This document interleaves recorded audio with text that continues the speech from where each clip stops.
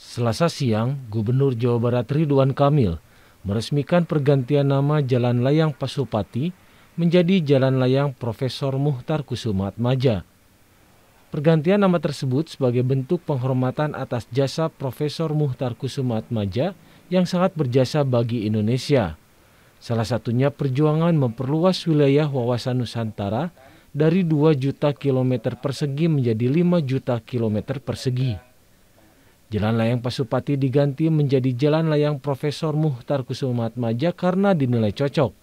Sebab jalan layang tersebut menjadi sumbu barat timur perjuangan wawasan Nusantara. Melintasi utara selatannya Jalan Insinyur Haji Juanda yang keduanya bersama-sama berjuang pada masa itu dan diberi nama Jalan Layang Profesor Muhtar Kusuma Atmaja. Menurut saya paling penting ya, media tolong sampaikan. Yang membuat luas Indonesia meningkat dua setengah kali lipat adalah perjuangan Profesor Muhtar Kusuma Atmaja. Itu itu poin dari semua poin yang paling penting kalau bisa menjadi judul headline ya.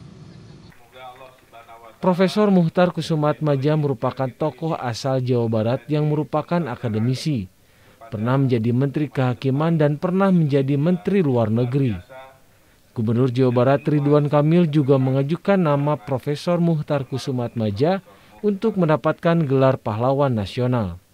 Tim Liputan, Kompas TV, Bandung, Jawa Barat.